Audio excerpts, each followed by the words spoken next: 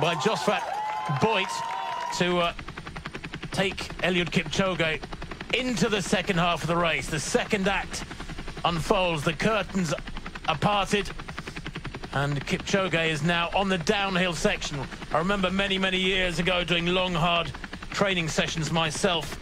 When you got past the halfway point, you always felt you were on the downhill section. That's how you would sort of trick yourself psychologically that you had broken the back of the session. Well, not quite sure that's it's fair to say that here today, whether he's broken the back of this marathon. There's the second half is going to be significantly harder. Well, the hard work starts now, and still Kipchoge just ushering and cajoling Boit into the right position. No doubt at all about who's in charge here, but Boit, let's salute him again, doing a terrific job here in pacemaking. All the responsibility now on the shoulders of Josphat Boit. He's been there since uh, the 15-kilometre mark. Kitwara and Kip Kipkemoi, the other two pacemakers, dropping out well ahead of schedule.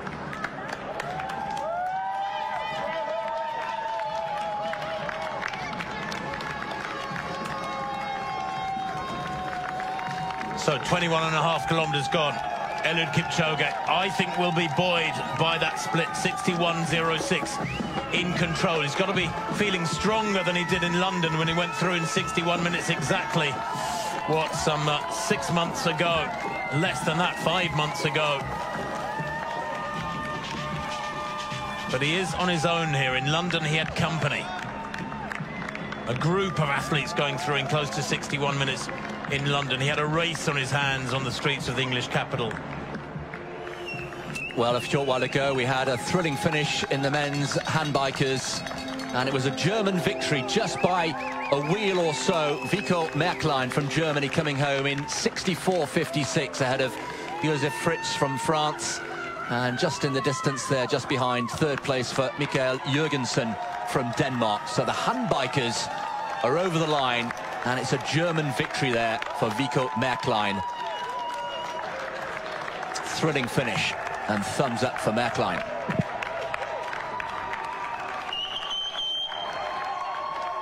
Well done, sir. Well, Eliud Kipchoge still looking relaxed. And of course, for those of you wondering what is the point of a pacemaker, well, it just takes the the psychological burden off your shoulders more than the physical burden. Of course, in windy conditions, you can tuck in behind and get a really strong physical benefit uh, from a pacemaker. But in these sort of conditions, with so little wind around the streets of the German capital, it's more of a psychological benefit to actually have somebody else lay down the tempo and you can just tag onto them, almost switch off mentally and just stick close to that vest beside you. So the psychological burden is being lifted from Kipchoge with every kilometre that clicks by.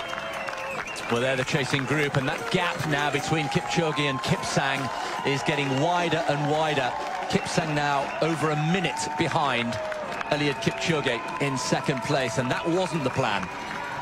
Absolutely bang on the money, the pacemaking for Kipchoge. He asked for 61 through halfway. He got 61.06. That is pretty good going. Kipsang, though, is falling behind his particular schedule. And uh, I can tell you that he went through halfway, well, over a minute behind.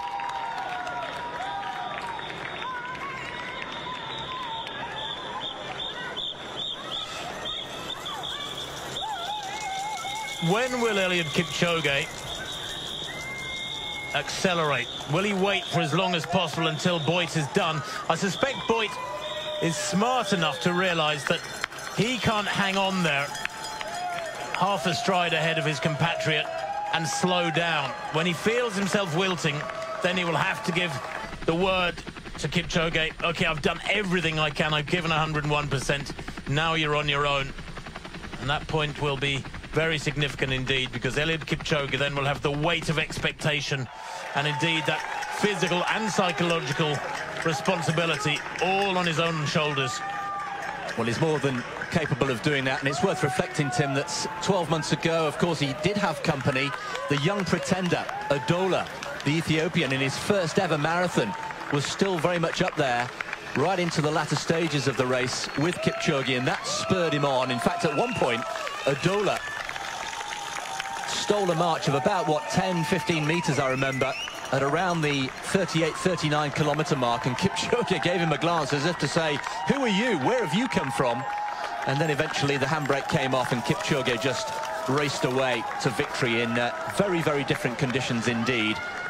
But you're right, as soon as Boit feels as though he's done, it will be Kipchoge against the clock. So 2.54 for the 23rd kilometre. Again, just about perfect pacing. There you can see uh, one of the markets, Sunday markets, because Berlin life carries on as normal for many hundreds of thousands of the populace, although they do come out in their hundreds of thousands to support. And in a day like this, with so much publicity locally and the given to the attacks of the world records, it's almost a privilege to be able to step out and watch those athletes go by. Well, there the uh, the leading women still going very well. Tirunesh Dibaba through uh, 20 kilometres. They've gone through the 20 kilometre now mark now. And I can tell you that Tirunesh Dibaba went through in 65.31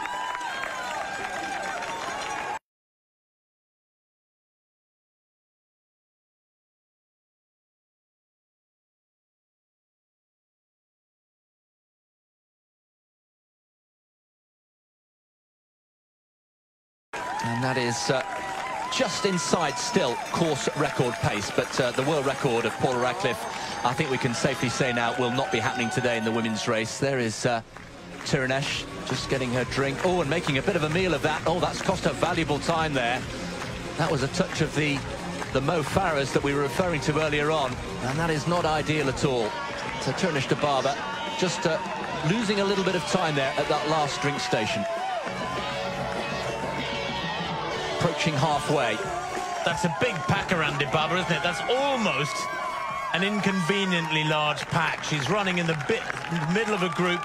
Some of those athletes, I have to say, being hypercritical, just a little bit too close to Dibaba there. She's almost got elbows banging her there, and that sort of physical space that you want around you is just being imposed upon a little too much for my comfort.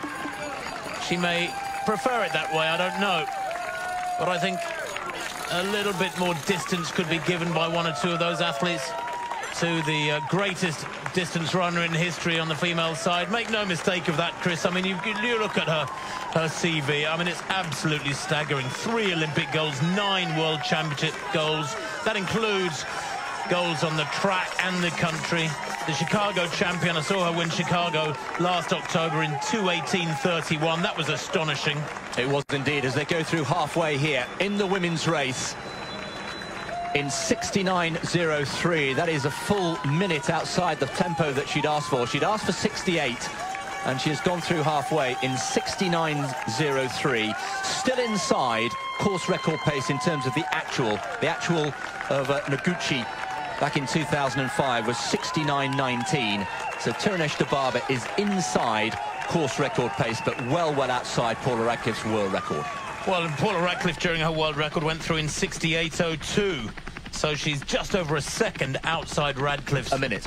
Uh, just a minute, excuse me, a minute outside Radcliffe's uh, time back in 2003. And then Radcliffe, remember, ran a negative split. She ran a much faster second half. So Dibaba, if she's to make any kind of impression and give the indication that one day she can break the world record of Radcliffe, she needs a much quicker second half. Eliud Kipchoge, 2.54 for that 23rd kilometre. And still on schedule for a world record by a sizable chunk. And with every kilometre that goes by that Josphat Boit can help him, he will be so grateful on the other hand, once you are there on your own, you can run perhaps with a less uh, impeded state psychologically. You can see he's almost smiling there to write a picture. One hour, 10 minutes on the clock. He's well into the second half now, Eliud Kipchoge. And we can take a look now at uh, where he is on the course in relation to the world record tempo. And you can see, Chris, he's still a long way up the road ahead of the average pace for the world record, that green marker. Well, he needs a safety net. He needs the cushion that we've been uh, consistently referring to because of that blistering final quarter by Kimetto four years ago. The question is, is that cushion that he's built up enough to deal with that blistering finish from Kimetto? That's the question. That's the tantalizing question.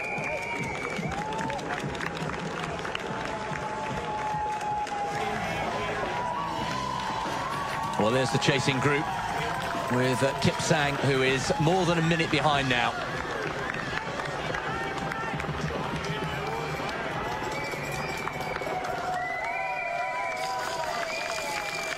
Boit still continuing to lead the way there. A little bit more communication between Kipchoge. And is that Boit done? Is this significant, Tim? Well, I don't know. A little acceleration there from Kipchoge to make sure he got his drink. It's all going to plan. What a contrast, for example, to the experiences of Mo Farah in London last April when he stopped a couple of times, had to run back to get a drink at one of the earlier drink tables, and then he had to run across the road and start discussing things with accompanying officials on motorbikes, asking them to go ahead and warn the drinks station uh, attendees that too many of the bottles were similar. And that was the big problem in London last April for Mo Farah and one or two other athletes is that rather ridiculously, several of the uh, specific personal bottles, they go through 25k there in, what, about 112.25, 112.24. Too many of the bottles were almost identical. 112.24, and let's just dive at our charts here. And uh, 113.07, so he's, what, some 43 seconds ahead, 44 seconds ahead of Kimetto's split at that point.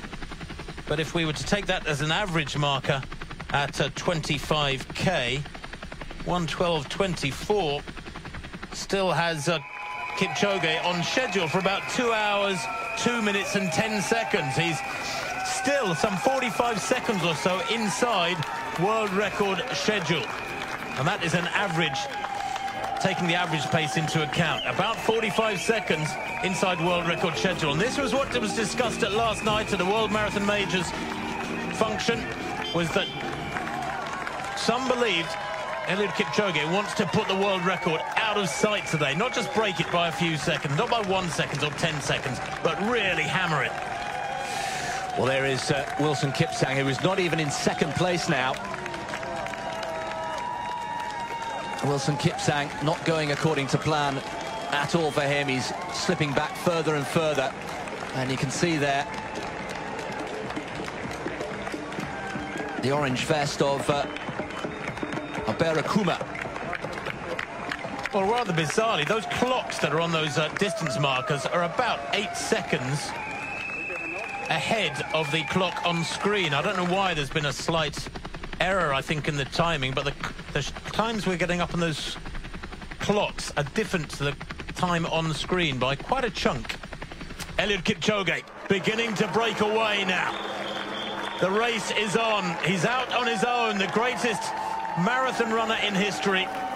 There you can see Kipchoge splits on that first line, 112.24 at 25 kilometers. The world record tempo, the average pace is 112.50, so he's 36 seconds up on that. Boit's job is done right of screen. What a fabulous job Josphat Boit has done.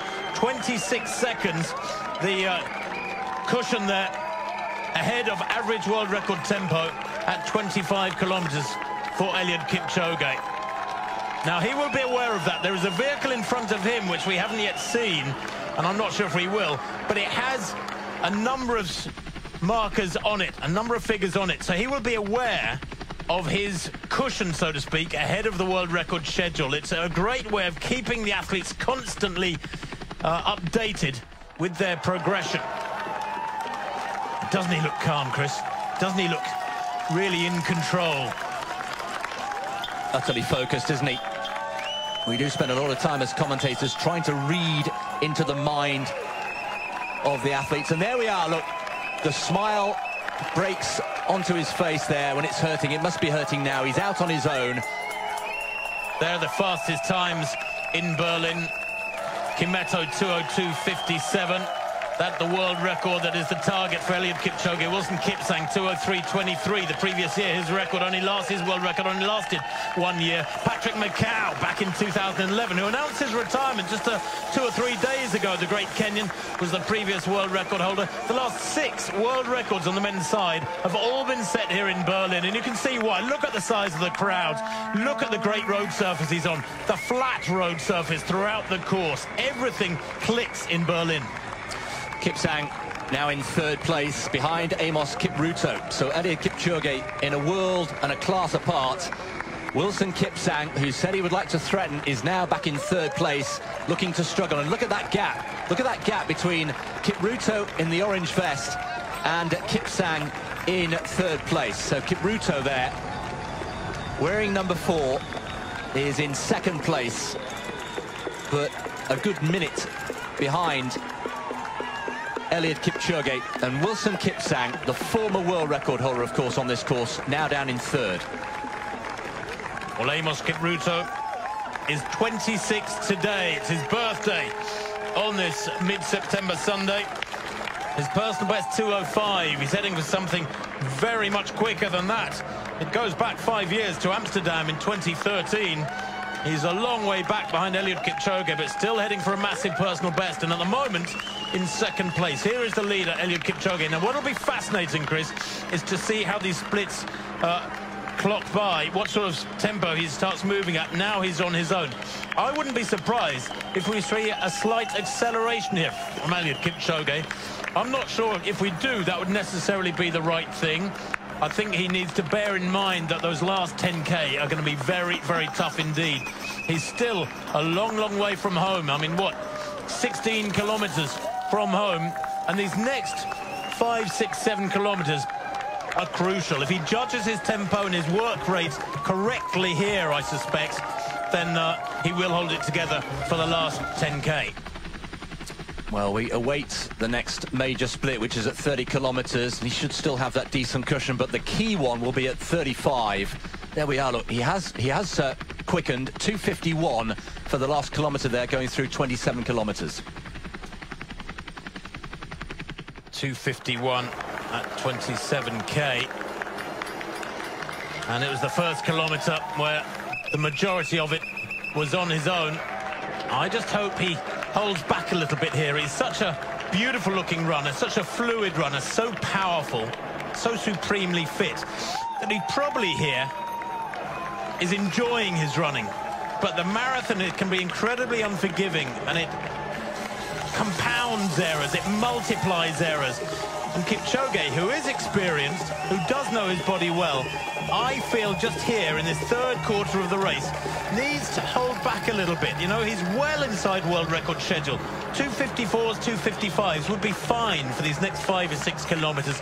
Then when you're in the last seven, eight, nine kilometres, maybe begin to relax and cut loose a little bit. But that is a almost worrying for me, I think, Chris, at 251. One of the, it's the third quickest kilometre of the entire race from him with, uh, what, some 15 kilometres to go. I share your concern. I wonder if he's being a little bit too gung-ho here in this uh, this latest section of the race. He is smiling, though. We've mentioned it before. When the going gets tough and he piles on the pressure, very occasionally he breaks into a smile. It is uh, quite remarkable that it's Kipchoge, as we predicted, against the clock. Kipchoge against the clock for a world record here in Berlin in 2018. Kipsang is down in third place. Amos Kipruto on his Berlin debut on his birthday is in second place, but all that is happening way, way behind Eliud Kipchoge, who's out in front on his own, approaching an hour and 20 on the clock. Well, at 25k, which was the last significant mark we got a few minutes ago now, I know, but he was 112.24. Kimetto in his world record was 113.07. So he was 43 seconds ahead of the virtual Kimetto at 25k. 43 seconds, that's a massive cushion. Now, Kimetto, of course, raced incredibly quickly for the last 15 kilometres, and that has to be borne in mind. But even on average tempo terms, at 25k, he was 26 seconds ahead of the average pace for Kimetto. So he's got a cushion now that he just needs to manage. He needs to manage this next section of the race. He's got about a third of the race to go. And his judgment for these next 10, 15 minutes is critical. Well, approaching 28 kilometres, and the cadence has, uh, has increased, hasn't it? He really looks very bullish here. The question is, is it too bullish for Kipchoge? There we are, 28 kilometres, 255. He has reined it back a little bit. Don't forget, 251 the previous kilometre, 255 this last one. Yeah, I got him at 121.02 at 28 kilometres. And uh, that if accurate, has him on schedule still for about 202.15. 202.15 at 28 uh, kilometres for Eliud Kipchoge. What I like about Kipchoge too, Chris, and I alluded to this a little while ago, is the fact that he has gone through, he's got the real pedigree of a great runner on the track, on the country. Dennis Kimetto was a road racer, nothing else. Never touched cross country, never touched any track racing. Kipchoge is the real deal. Well, talking of the real deal, Gladys Cherono, the defending champion, of course, is now leading the women's race. There we are. It's all changed, not by much, but Gladys Cherono has just taken closer order. Tirunesh Dibaba, who made a rather clumsy pickup of the water bottle at the last station we saw there is just a couple of seconds back with Ruti Aga, the youngster. So it's Kenya 1, Ethiopia 2, Ethiopia 3, through 25 kilometres in the women's race.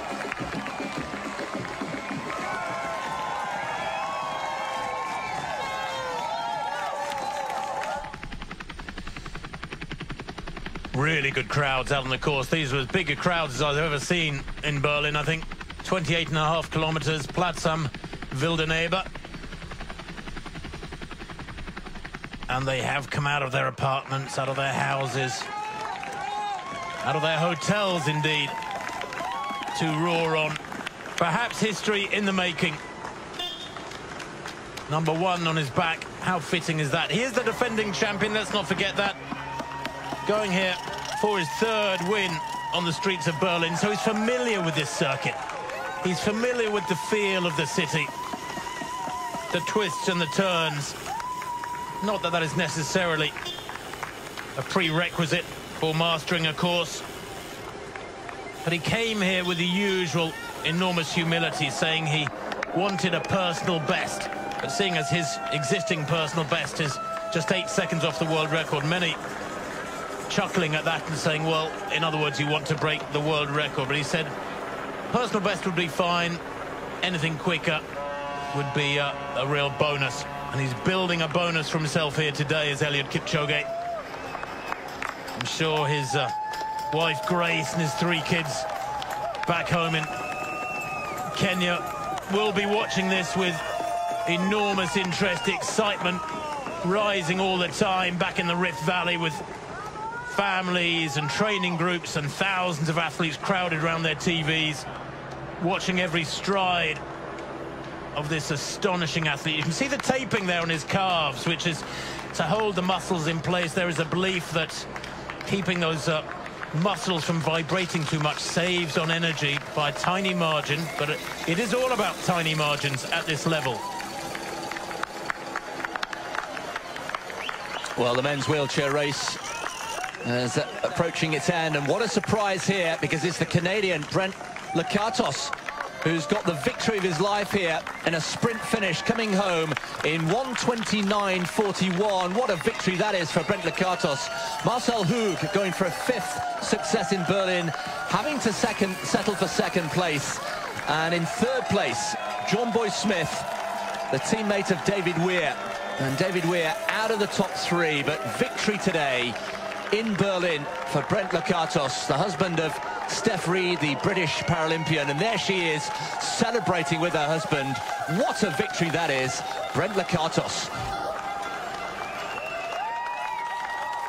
So approaching 30 kilometres then, Eliud Kipchoge. Still calm, still composed. Focused on the road ahead.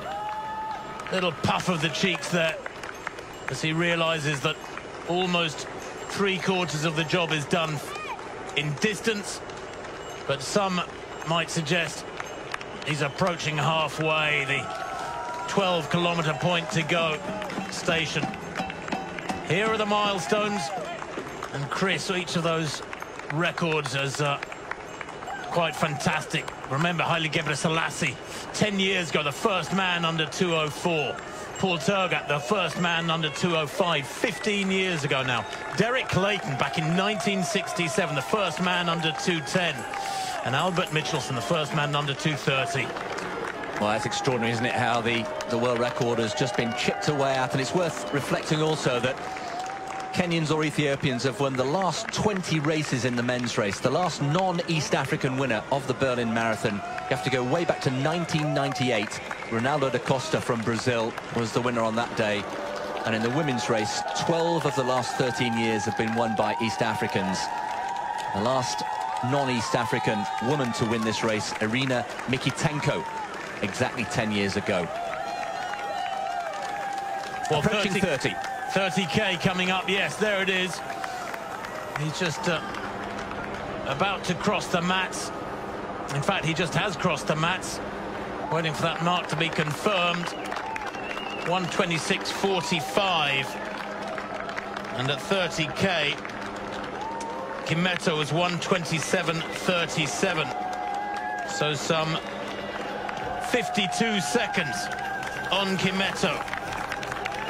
He's getting quicker. He's getting quicker. And it's looking more and more likely that the world record is in the bag. Yeah, he was 43 seconds up at 25k on actual time of Kimetto. Now that's 52. Well, that means in the last 5k, between 25 and 30k, Chris, he has taken nine seconds out of Kimetto. 43 seconds was the gap ahead of Kimetto's splits. 52 seconds the gap at 30k. But, but yes, Kimetto. Mind you, Kimetto between 25 and 30k ran 14.30. And I'm just calculating, uh, Eliud Kipchoge there has just run 14.21 for that uh, 5k. 14.21, astonishing for that 5k between 25 and 30k. Kimetto was impressive. Kipchoge, superhuman. There it is, 126.45 to the world record tempo, 127.24. But that, remember, is average pace for the uh, world record.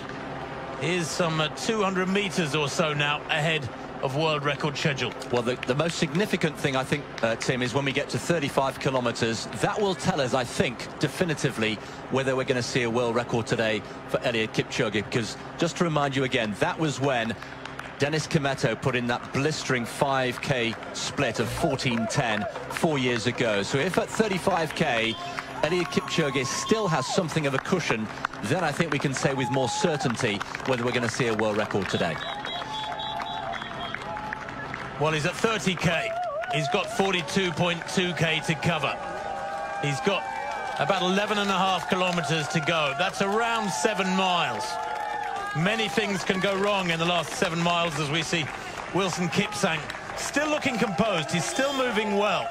I wonder if he's just managing himself here, Wilson Kipsang, and still heading for a, a fabulous time.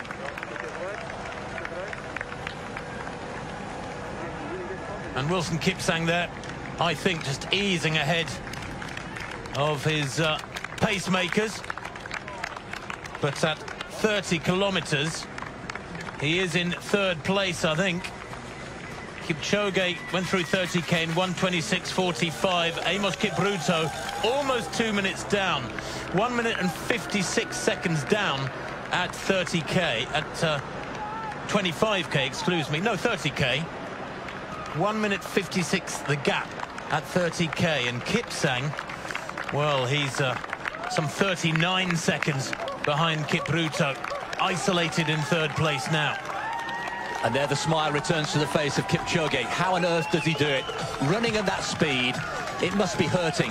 And still, he looks so relaxed, super relaxed. Looks like a man out for a Sunday morning jog, which by his standards is what this is. But we could be heading for a little bit of history here in Berlin, here this morning in 2018. Are we watching another world record unfolding here?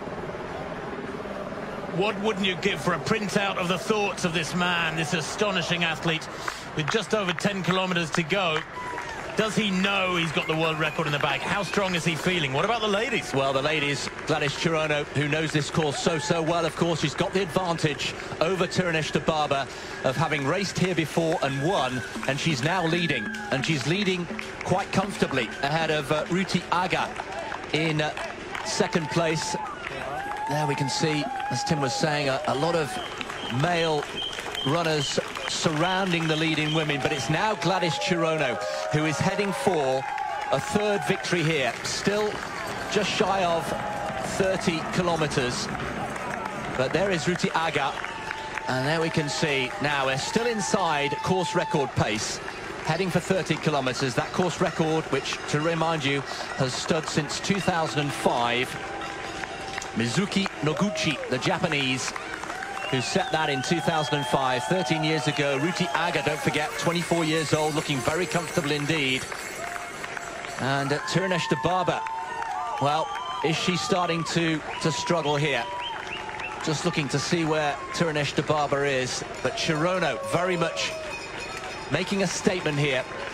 And she would be aiming to match the likes of Aberu Kebede, Uta Pippig, she was at a, a, function that we were at last night, the, the great German, and Renata Kokowska, all of them are three-time Berlin winners. Will Gladys Cherono join them on that list? Well, Gladys Cherono looking very, very comfortable indeed. Former world half-marathon champion, of course, on her way. What a contrast, though. And this is what was predicted. A race on the women's side. An exhibition run, almost, on the men's. Eliud Kipchoge against the clock. And wasn't it apt that in our pre-feed before with our gun, Eliud Kipchoge said, my greatest competitor is myself. I'm racing my uh, head here. I'm racing my heart. Can I overcome what my legs will be telling me? Through the latter stages is in effect what he was saying. And at the moment, he is uh, getting in plenty of punches. He's defeating that challenge from elements of his own body which are saying, ease back, take a rest, gets that drink, gets it done. The cyclists, the backup team doing a wonderful job. Everything falling into place. All the infrastructure is there, isn't it?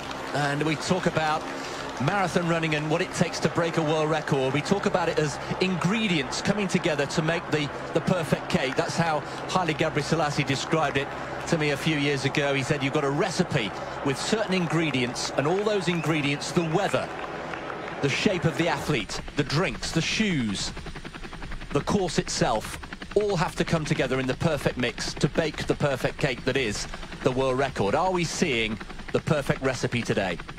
Eliud Kipchoge following that blue line around the bends almost to the millimeter. Just under 10 kilometers to go. Not in the home straight yet, but beginning to get to the point of the race where he can gather himself psychologically and push for the line. Well, the figure we're looking at for, Tim, just to mark our uh, our viewer's card is 141.47. That was the time that Dennis Kimetto went through 35 kilometres, 141.47. Well, here is uh, Amos going through, Amos Kipruto going through 32 kilometres and looking strong, looking full of running. He's bouncing nicely, isn't he? There's just a real fluency and yet a power. It's the way he covers the ground, negotiates that corner well. That's a daunting sight, though, isn't it? That big, big gap up in front of him.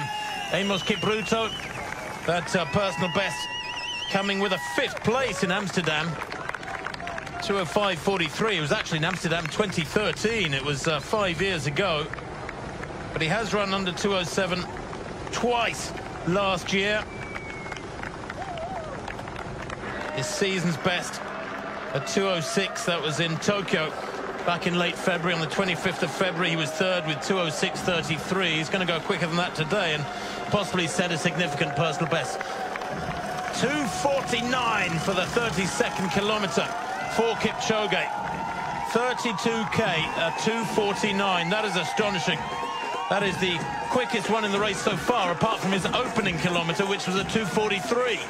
So the second quickest kilometre of the race, and frankly, you can ride off the first kilometre because everybody blasts away from the line to try and get a, a clear run and away from uh, any wannabes. Well, the anticipation is rising here. And Eliud Kipchoge, you just sense that he feels the hand of history on his shoulder here today. He's doing everything right. We just had a little bit of a concern that maybe he was being a bit too bullish earlier in the race, but he's put in another absolutely storming kilometre there, 2.49 for the 32nd kilometre. And let's watch out for that 35-second split. We're about a kilometre and a half away. That will tell us, I think. And the smiles him once again returns to the face. How on earth does he do it? Well, 33 and a half kilometers down. What, some eight and a half to go. Eliud Kipchoge clears his mouth. Again, that half grimace, half smile, puffs his cheeks out again. Well, here we can see Tirunesh Dibaba, who is some way down now. Edna Kiplagat has now overtaken Tirunesh Dibaba. There she is, the 38-year-old with all that experience. Edna Kiplagat, one of the nicest women in marathon running. Two-time two-time a world champion. She's now in third place and chasing Ruti Aga and uh, Gladys Cherono. So Tirunesh Dibaba now in fourth place behind Edna Kiplagat. So the race not going to plan for Tirunesh Dibaba, uh, but they're still inside course record pace. So 34 kilometres coming up for Eliud Kipchoge. There is a, a, small chance that he could go under 32 minutes here with that acceleration at 2.49 for the 32nd kilometre. The previous few kilometres in the 251 to 255 range. Well, here are the women going through 30 kilometres. Gladys Cherono leading the way, 138.04, still inside actual course record pace. Noguchi, the course record holder so far, at 138.40. So they are some 36 seconds inside course record pace.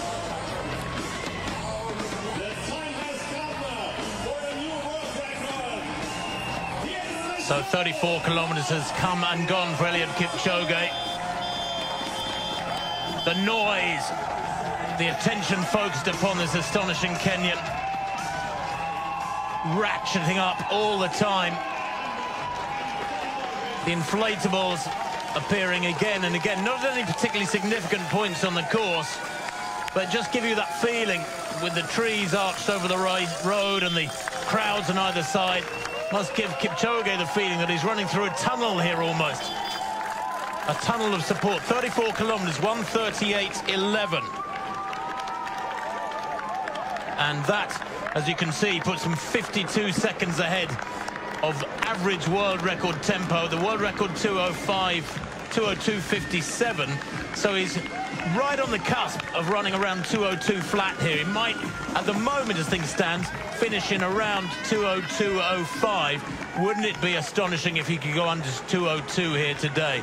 And perhaps a, an appropriate moment just to point out that somebody running at two-hour speed in this uh, marathon that is being run fairly and according to the rules would be, what, a minute and a half up the road ahead of Kipchoge here, would be five, 600 metres up the road ahead of him.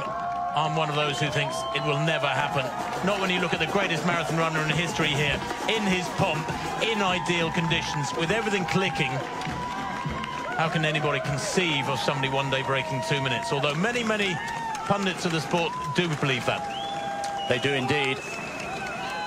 This next split, though, will be significant. I think this will give us more confidence than ever to say whether we're seeing a world record here today. At the moment we are, but Dennis Kimetto, remember, there is the Gedächtniskirche in the Breitscheidplatz, which uh, is one of the main features and landmarks on this uh, famous Berlin course, and was uh, played host to the, the shot put in the European Championships, the Athletics Championships, just a few weeks ago here in Berlin, which were held uh, with great success. So approaching 35 kilometres, this is the big mark in this marathon. Well, from here, seven kilometres to go. Kimetto and his world record was on 141.47.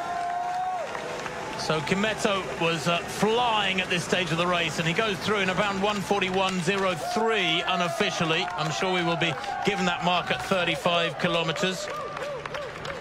But 141.03 unofficially there for Eliud Kipchoge at 35k. And that puts him on schedule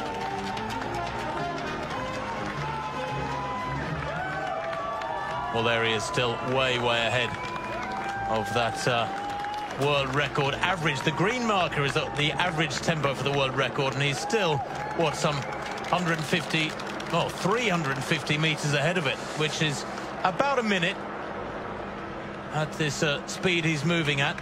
The gap is monstrous. This late in the race, Chris, I can't believe he's not going to resign that world record of Dennis Kimetto from four years ago to uh, history and uh, to second place on the all-time list. You just get the sense, Tim, that he really fancies not just smashing the world record, as we've said, but actually getting under 202. Are we going to see a 201 something marathon for the first time ever?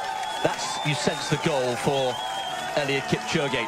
And we were talking to some people last night who said that he didn't just want to beat Dennis Kimetto's record, he wanted to absolutely smash it to pieces, and he's on course to do exactly that. Well, just checking my chart, Chris, at 35k, if that 141.03 unofficial time was right within a second or two, he is on schedule to run around 201.50 now. He is going to possibly not just break the world record here today, he looks like he's going to break it by over a minute, and it looks like he's going to go under two hours, two minutes. This is Eliud Kipchoge performing optimally. No shoe problems here today. Touch wood so far. no wind and rain. I don't think we need to touch any wood in that regard. Conditions perfect. The temperature climbing, but not to anything nearly as challenging as he had to contend with in London. The 35 kilometre splits haven't yet come through officially, but I got him at 141.03. That against Kimetto's 141.47. So what, some 44 seconds ahead of Kimetto at 35k. And he's still moving well. He's still got that wonderful power and yet relaxed stride with what, 6k to go, 7k to go? He's got his game face on here and just occasionally puffs out the cheeks and just uh, wipes his mouth all that hydration, all those drinks taken on the little and often, sipping regularly, now starting to work and starting to enjoy the benefits of that hydration earlier on in the race. As Tim was saying, if you start feeling thirsty, it's too late. It's gone. 143.53 unofficially at 36k. that, yes, puts him on schedule for around 201.45. It's gradually creeping down all the time. The projected finishing mark for this astonishing Kenyan. 33 years old. Many believe that if you can hold together, avoid the injuries, maintain your body well, then you are at your best. You've got those accumulated years of hard training and you're at your best in your mid-30s, so maybe, perhaps more to come. He's won nine of his 10 marathons. The Monza race was uh, set up as a marathon, but of course it broke the rules substantially and so can't really be called a marathon. It was more an exercise in trying to prove what may one day be possible.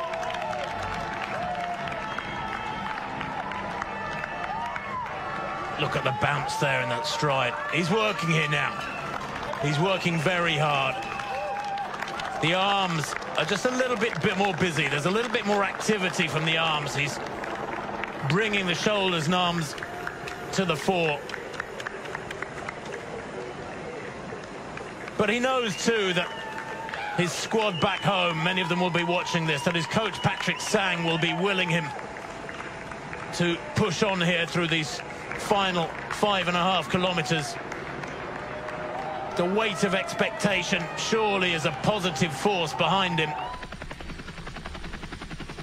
There's that black vehicle to the top right of your screen, which gives him great feedback. It gives him his last kilometre split. It gives him a projected finishing time. And that will give him huge reinforcement too. Throughout the race, he's been aware of how things are unfolding for him. A luxury that wasn't enjoyed by previous generations of marathon runners until this last decade or so. But of course, it gives you continual updates. It's, you can compute, you can work out how you're going. And believe me, he will be doing that. He is a intensely intelligent man. He will be thinking about the splits that are coming up and that are being predicted and using that information positively. Sticking to that blue line to the inch. And there once again we see a smile on the face of Eliud Kipchoge through 37 in just outside 146.35.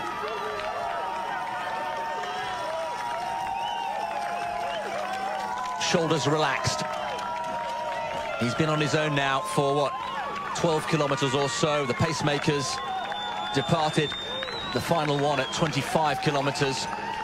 Josphat Boit doing a brilliant job earlier on. Now that was quite interesting, Chris. That I got that last kilometre at around three minutes, maybe a click outside three minutes for Kipchoge, probably his slowest of the race. Well, here is Amos Kipruto in second place, who is, uh, well, two minutes behind.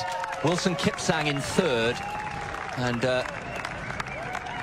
Shogo Nakamura, I can tell you, from Japan in fourth place. And the uh, subplot to this race very quickly is that the Japanese record as well is up for grabs there. And there's a million dollars on offer to the Japanese runner who breaks the Japanese record, 206.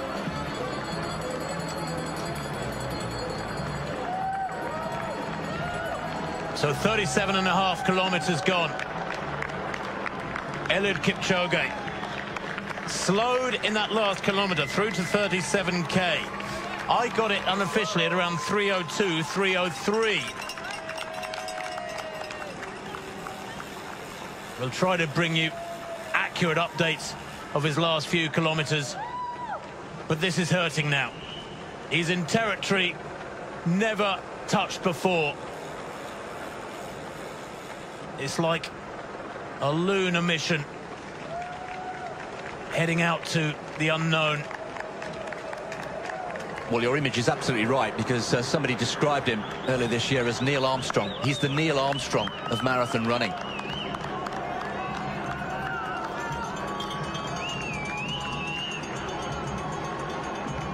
Is he starting to suffer a little bit? Even the great Eliud Kipchoge there doesn't look quite as comfortable, does he? He is hurting. And he's got four kilometres to go. Four and a half kilometres to go. What's that? 12 laps of your athletics track. Three miles of hard running to come. He's built up a big cushion, we know that. 149.19. He's coming up to 38k. What will he uh, clock through there? But he has slowed, there's no doubt about that. Now, this will be significant. If there's a second significant slowing here outside three minutes, then that cushion will be reducing. There, 38 to 1, or on 149.37, something like that, at 38k. And if we move to that marker, 254, well, he's back on song. We didn't get the official mark for the previous kilometre. I think it was outside three minutes. A little bit of shade. He'd probably quite like that at the moment. Topper picture. Eliud Kipchoge going faster than most bikes, probably faster than most midweek traffic in the German capital. Well, he's looking more comfortable, isn't he? If it was a, a three kilometre, here we go. Look at that, increased. These are average world record pace, remember, just inside a minute inside world record pace on average splits. Well, according to those marks, His uh, 37th kilometre was at 2.55, so a miscalculation by me, and ap apologies for that if that is correct. He is still pushing along well, 2.55 and 2.54. His uh, last two kilometres, the 37th and 38 kilometres. 149.37 there or thereabouts at uh, 38k. Well, that puts him on schedule for about 201.45, can you believe? This is uh, science fiction unfolding in front of us. Absolutely astonishing. Still waiting for the 35k marker to come through on our computers here, so there's something, some little glitch has crept into the works. We can't blame the rain on this occasion. Maybe Eliud Kipchoge getting ahead of the electronics here, such as his lightning speed and he's applying everything learnt over so many years of hard training, hard racing.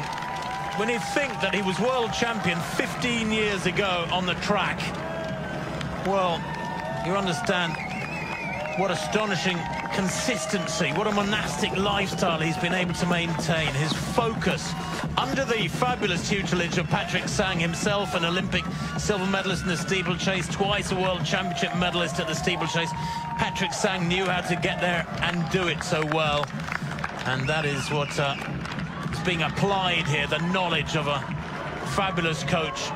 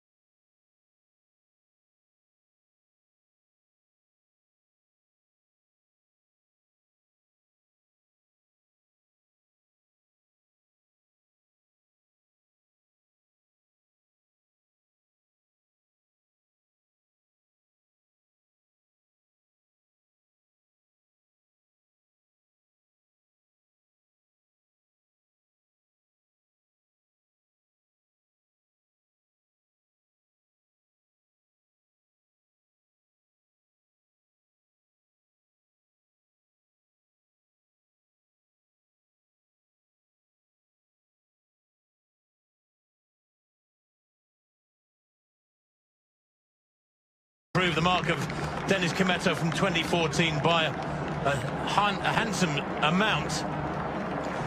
Well, and history in the making here. new target. Yeah, history in the making here. I think we can safely say now that the, the world record will go today here in Berlin. History will be made in the next five minutes or so. And it's a question of by how much. Just getting word from uh, our colleagues that the predicted finish time 202.01 he will want to psychologically break that 202 record that 202 mark. 40 kilometers coming up for Kimetto. 1 hour 55 on the clock now. For coming for Kipchoge excuse me. Kimetto went through this mark 40k in 156.29 look at the time in the bottom of your screen. He's well over a minute ahead of Kimetto at the moment 50 metres to go to the 40 kilometre mark. And there is no doubt that uh, Dennis Kimetto, despite that charge, they hit 40k now. 155.32, the official time. So he is uh, almost a minute, 57 seconds ahead of Kimetto at this stage of the race. With 2.2 kilometers to go, Eliud Kipchoge, well, I don't think he'll want to relax, but he can... Oh, and he misses a bottle there. That's frustrating. Nobody handing it out to him. That's astonishing at this stage of the race. Not a soul at that drink station. But it was down to him, and that is something he practices. That will annoy him a little bit. Apart from the uh, disappointments in regard to the pacemakers over the first half of the race, with two out of the three dropping out well before halfway. That's the first blemish on his card there. There you can see, Chris, 155.32 his split. Average pace for the world record, 156.32. How neat is that at 40k, exactly a minute ahead? Absolutely outstanding. And uh, in actual terms, it's 57 seconds. And he's found, again, another five seconds in the last 10 kilometres on that Dennis Kimetto world record of 2014. He's getting very, very close indeed into the last couple of kilometres. And history is beckoning here in Berlin this morning. Well, when you think about the great athletes who have won this race in years gone by, you think of Kimetto, you think of Bekele, you think of Wilson Kipsang, Patrick Makau, Haile Gebrselassie, Paul Tergat. He here is already on that list of winners, but he is now atop that list of winners with a third Berlin title and surely a world record that is one for the ages. Quite literally, this will be remembered for decades, this world record. It may stand for decades. The Paula Radcliffe mark proving insurmountable to all assaults by this current generation of female marathon runners. And I think this mark will be at the top of the list for many a year. Unless, of course, he improves it himself. Well, that's not, uh, you can't discount that, but this is a real statement. This is, this will get people looking at marathon running in a, a, completely different way. This will make some headlines outside of the sport. There's no doubt about that across the world. Into the last kilometre and a half here. And Eliud Kipchoge now with his business face on. We'll watch for the, the smile to come across his face. But this, this is history here. This is quite exceptional marathon running by the greatest marathon runner, the, male, the greatest male marathon runner of all time. 155.32, Chris, has him on schedule for something around 201.50. The 202 barrier looks to be heading for the bin here today. It will have been smashed. It will have been pulverized by this uh, astonishing athlete. This accumulation of years of training, years of focus, application on the track in the middle distances, in the lower distance races on the track, the long distance races on the track. His CV is almost second to none as a track racer, never mind about as a road racer. He's run a 350 mile, this man. He's run 12.46 for 5,000 metres, 26.49 for 10,000 metres. You wonder how he's ever lost a marathon, don't you? He's lost just one of the 10 he's run, and it looks like he'll have lost just one of the 11.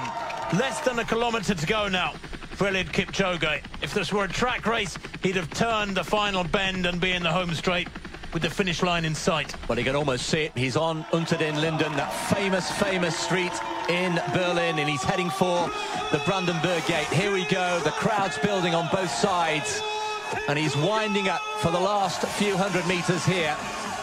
And the Brandenburg Gate, those trademark columns loom into view here for Eliud Kipchoge. And he's on his way to making history here in Berlin. Well, the two-hour barrier clicks by now. The Brandenburg Gate in sight. It's about 300 metres from the gates to the finish line. Eliud Kipchoge is going to smash the mark of Dennis Kimetto, which has survived for four years, longer than the mark of uh, Wilson Kipsang, whose 2013 mark lasted a mere 12 months. But what a glorious sight this is for Eliud Kipchoge. He must have dreamed of these moments. He must have gone through these sights in his mind. That visualization, the glorious Brandenburg Gate, into the shade for Eliud Kipchoge, into the sunshine now in more ways than one as the finish line lies ahead of him. He's going to break the two hours, two minute barrier. There's no doubt about this.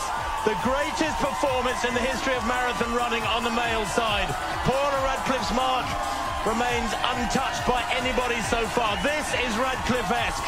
This is Eliud Kipchoge in supreme form, 150 metres to run. The crowds of the German capital roar him on. He smiles now. He knows the record is his. 202.57 by Dennis Kimetto, his compatriot, was a magical mark. The first sub-203 clocking. This will be the first sub-202 clocking, and by a monstrous margin, he is going to break the world record. He comes towards the line, raises a sprint on those magical legs, and at last the world record is his. How fitting is this? The Olympic champion is the world record holder. 201.40, unofficially there for Eliud Kipchoge. He breaks the world record by an astonishing margin. One minute and 17 seconds. Patrick Sang, his coach, his companion for run after run, race after race, year after year, hugs him there. And history has been made in Berlin 2018 in astonishing style. Wow. Simply wow. That was special. Eliud Kipchoge is a history maker in Berlin. And congratulations coming first of all from Mark Milde, the race director. He will be delighted yet again. Berlin delivers. Look at that. Do not adjust your sets, ladies and gentlemen. 201.40, a new world record, and he has smashed it by a minute and 17 seconds. Quite astonishing. It was said yesterday that he wanted to put the world record out of sight, lay down a marker that would last for a long time. And I believe we've just witnessed that. Executed to perfection, every stride of the way, despite the uh, slight issues with pacemakers, two of the three dropping out well before halfway. Wonderful job done by Josphat Boit, who took him well into the second half. A, a, word of praise for Boit, who was quite superb at maintaining the required tempo. But Eliud Kipchoge, look, still full of running, not out on his feet. Nothing Bubka-esque about that. He didn't want to improve it by a tiny margin and leave more improvements for the future. That mark may well remain his best for the rest of his life. It may well remain the world record for many years to come. But I suppose, Chris, records are there to be broken. Some will say, right, the next generation of athletes have a new target. That is the standard. It has been reset. Everybody has to redial in their ambitions, what they think they can achieve. Well, he's a quiet man. He's a humble man. We don't often see, Tim, displays of emotion like this from Eliud Kipchoge. He is so reserved. He's so humble true to his roots, true to his background. He's a farmer, for goodness sake, by, by trade and by background. But this is Eliud Kipchoge, relaxed and celebrating, and you can't blame him. Totally deserved. Wow. Three times a Berlin champion now, Eliud Kipchoge. He is the master. Here, the second placer, Amos Kipruto. The Brandenburg Gate in sight for him. His personal best, 205.43. He's going to be mighty close to that. I fear a few seconds outside it. He's got over a minute of running to come, surely. 26 today, though. Some birthday the young Kenyan has given himself. Some birthday present. His best in 2018 was a third in Tokyo back on the 25th of February, a 206.33 clocking. He's going to be quicker than that as he eases his way through the Brandenburg Gate. Well, the challenge of Wilson Kipsang wilted before halfway. Eliud Kiptanui likewise. But this is only his second World Marathon Major experience. Tokyo was his first in February. His personal best goes back five years and it will remain his personal best 205.43 coming up any second but it matters not a jot the plaudits, the prestige, the prize money of second place will belong to Amos Kipruto on this day. He has no track background. Quite a contrast to the astonishing CV of the now world record holder Eliud Kipchoge. But Amos Kipruto eases his way towards the line. No sprint raised by him. His third marathon in the last 12 months, this. He ran under 207 twice last year in Seoul and Amsterdam and here today a long way under 207 in Berlin a wonderful second place for Amos Kipruto happy birthday 206.24 unofficially for the Kenyan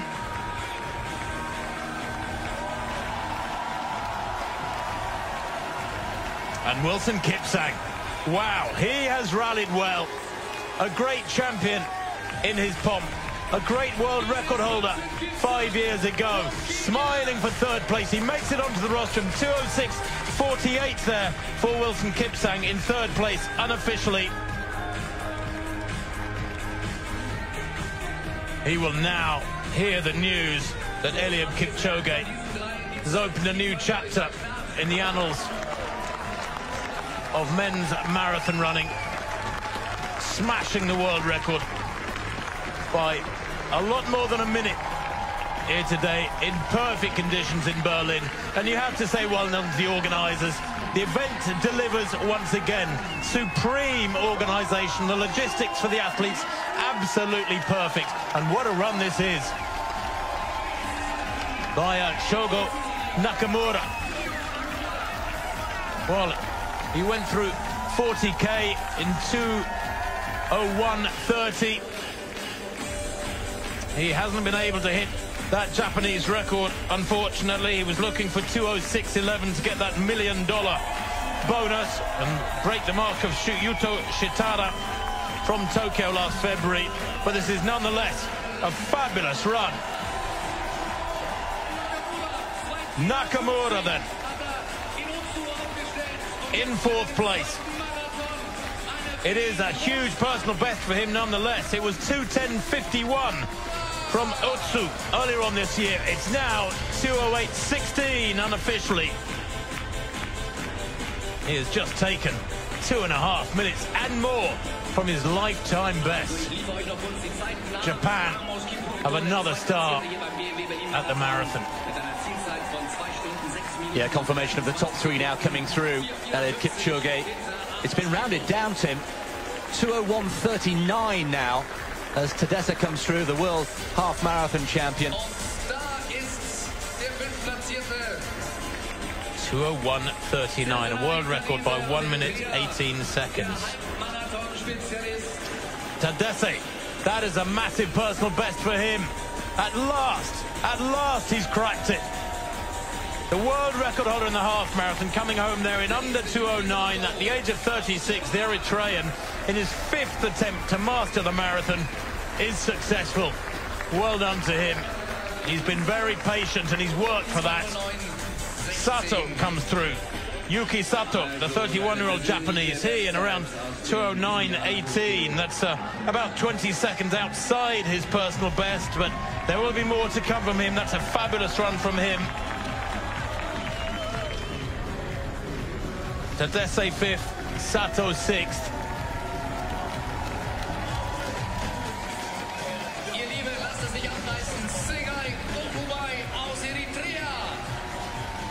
And another Eritrean athlete here coming through.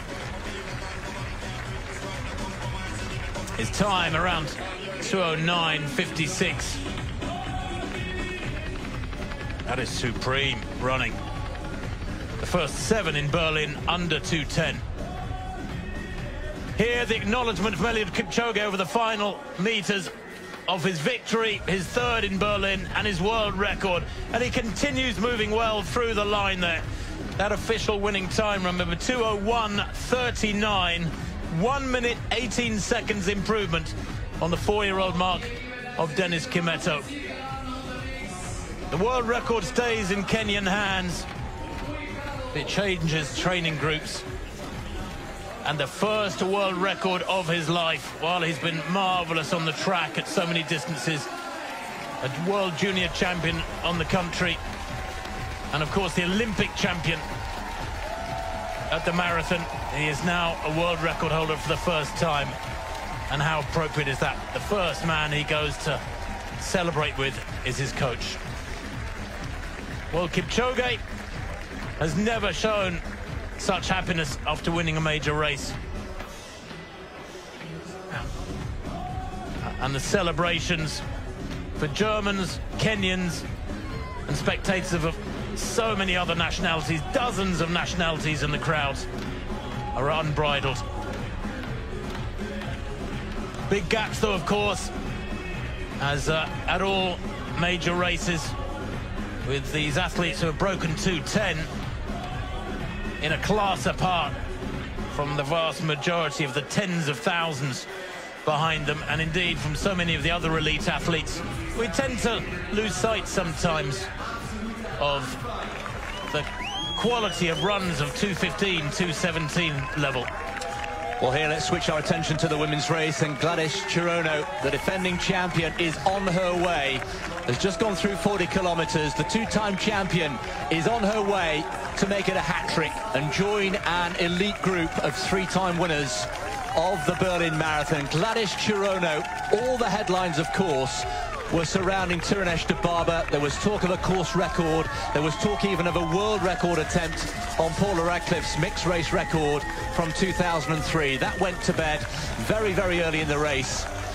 Gladys Cherono is still on course record pace. She's still inside course record pace. There we are. We can see the uh, the pink red dot of Gladys Cherono just zigzagging her way. She's going to go on to Französische Straße. Then she's got one more right-hand turn, then a left into Unter den Linden. The course record you can see there, almost 400 metres behind. So we will have a course record, barring any extraordinary late developments here in the women's race. We've had a world record in the men's race, absolutely outstanding from one Kenyan. And we have Another Kenyan here on her way. Tirunesh Dibaba, I can tell you, is way down on the field. Over 20 seconds behind she was at 40 kilometres.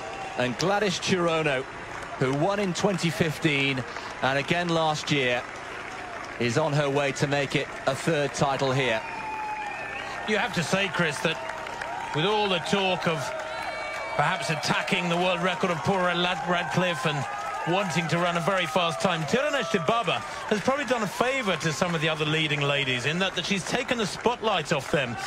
There were many who felt that Dibaba, rather like uh, Kipchoge, just had to turn up to take the win here, but that was perhaps not uh, giving enough respect to the defending champion. At the age of 35, Gladys Cherono has built up an enormous reservoir of knowledge her personal best was set here in 2015, and she's going to almost certainly improve upon that markedly here today. But the defending champion will remain the champion by the looks of things. She will indeed.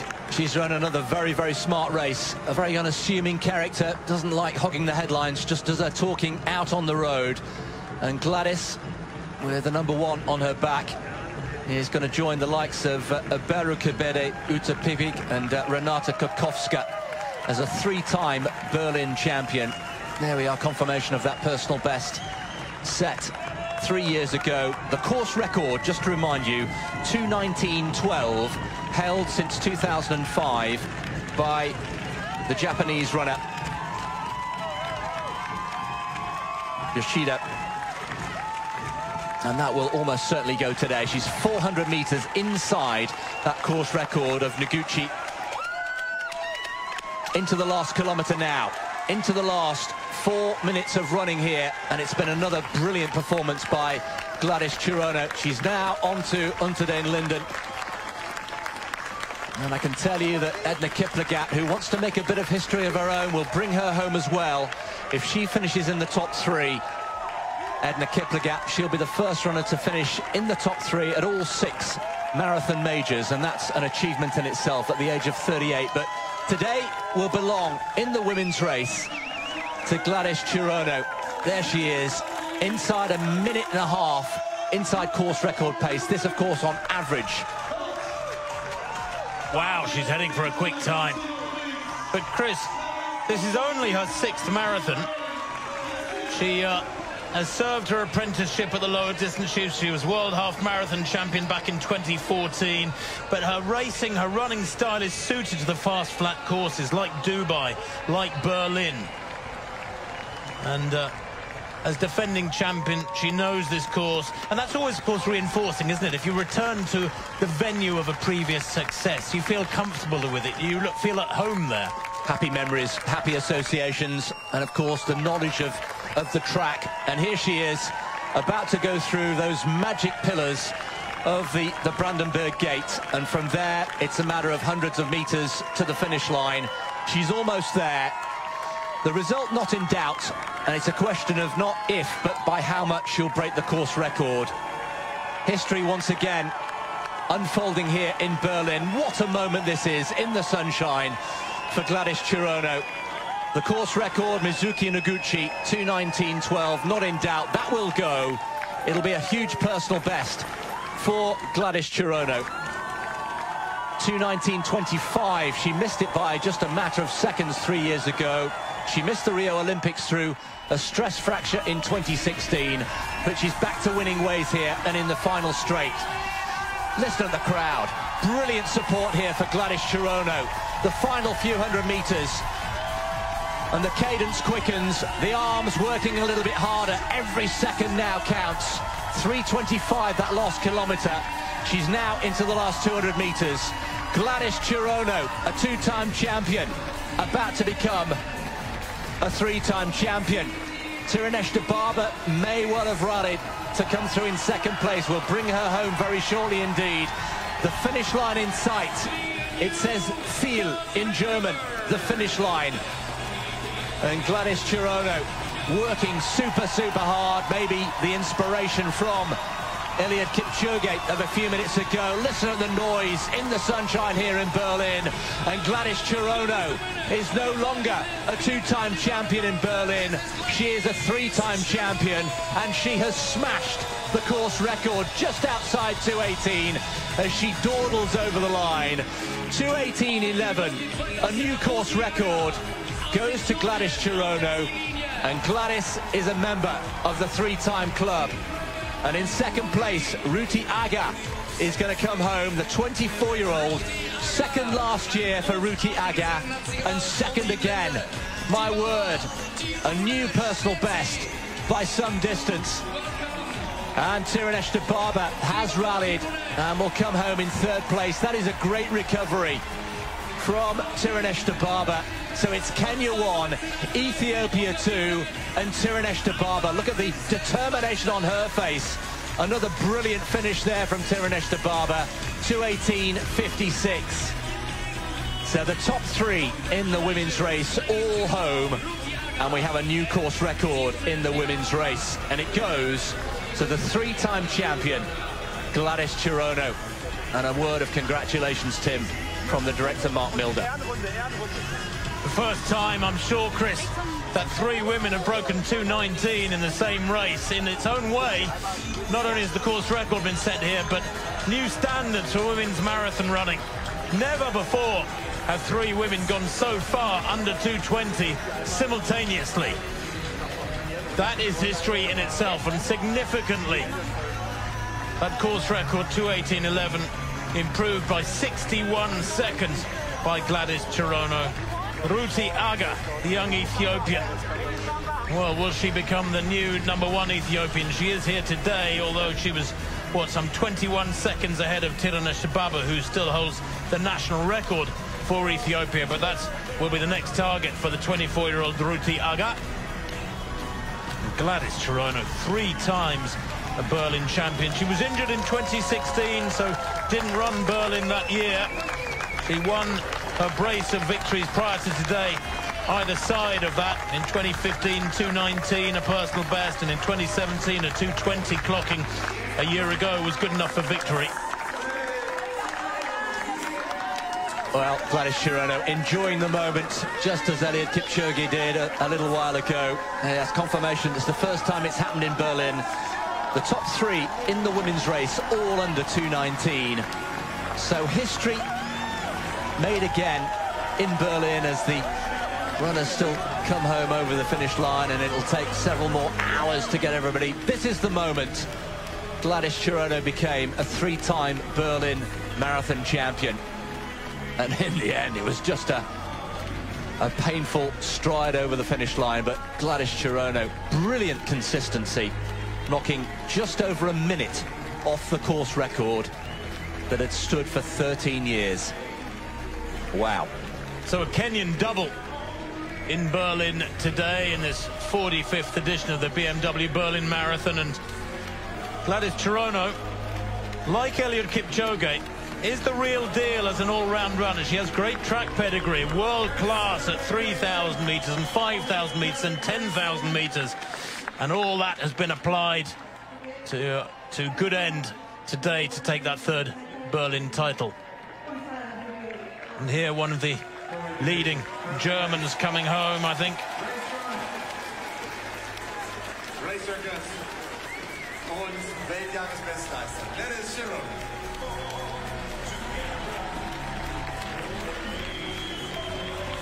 Well, that is one of the lesser lights of the elite men's field. This time just outside 222.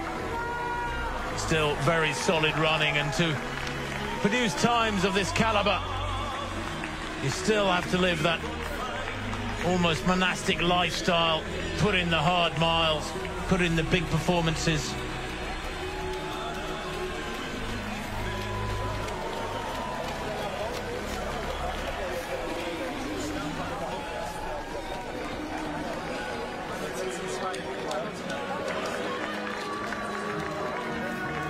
Celebration then for Gladys Cherono.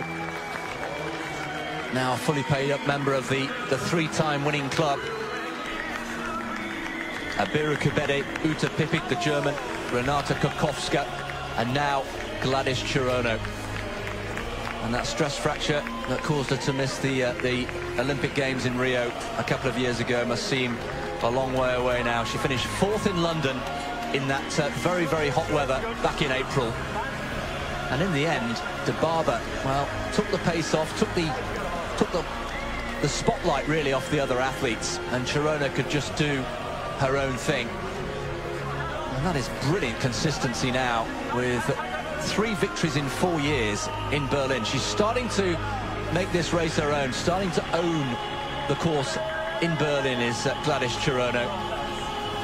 And a 40,000 euro prize money, of course, for the winner of each of the races. And a huge payday, of course, for Eliud Kipchoge as well. $50,000 on uh, 50,000 euros on offer for a world record, which Eliud Kipchoge has, uh, has pocketed today. But you know what, Chris? I think athletes of this caliber, who are multi, multi-millionaires in their own environments, back in Kenya, back in Ethiopia, I don't think when they're training hard and they're focused upon a race like this and they produce the goods and everything rolls out well on the day, I don't think they even think of the prize money. We're aware of it. We've got it in our information booklets, of course, and we will give it a mention. But they don't think about the money. They just get the training right. They adhere to what their coaches tell them.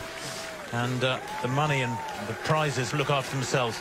Wilson Kipsang, what a fabulous run from him here today. Third place in 206. 48. Second place going to Amos Kipruto.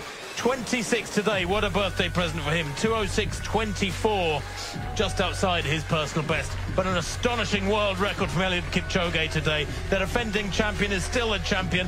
201.39, a massive world record for Kipchoge.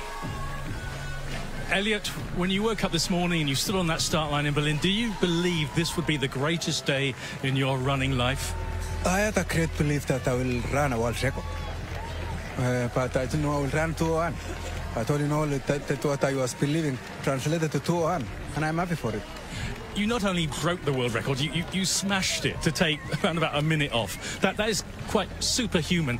What next can you achieve in the marathon? Oh, actually, what next for me is that I have run 200. I have, I have run 201. The next is to run 202 because that I have 21, 202, 200, 21, 202, 203, 204, and 205.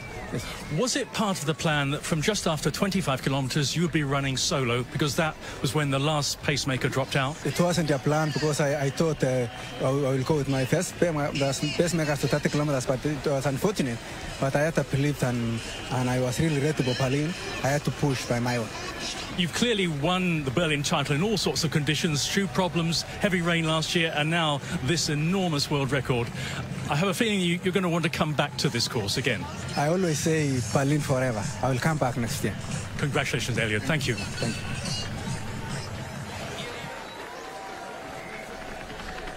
Well, calm and as eloquent as ever, Eliud Kipchoge, after crossing the line, there is confirmation of the new world mark. Two hours, one minute and 39 seconds. Do not adjust your sets. He's improved the world record by one minute and 18 seconds. Eliud Kipchoge today in Berlin. Amos Kipruto, a fabulous second place. Four and a half minutes and more down, but uh, nonetheless a strong run from him with 206.24. And Wilson Kipsang, the former world record holder, the former Berlin champion. A third place for him onto the rostrum in two hours, uh, six minutes and 48 seconds. Shogo Nakamura, good run too for the Japanese in fourth.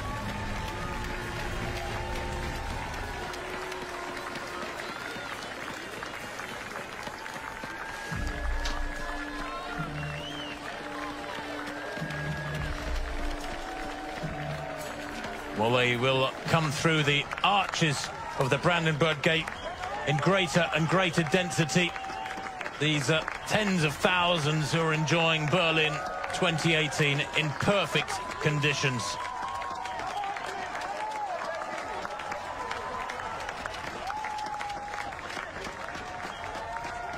Well, here, just a summary of the women's race. Tirunesh Dibaba very much billed as the favourite to take the title. In the end, having to settle for third place, just behind her compatriot Ruti Aga, the youngster brilliant second place for the second year running.